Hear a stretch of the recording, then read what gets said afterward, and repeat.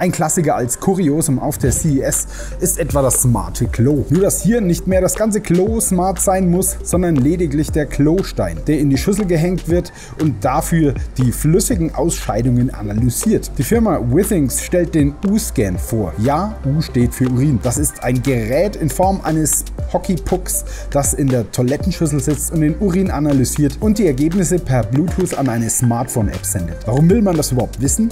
Etwa um den Menstruationszyklus zu verfolgen, allgemeine Gesundheitsinfo wie Flüssigkeitshaushalt oder Vitamin C-Spiegel zu überwachen oder als Forscher einfach Studien durchzuführen.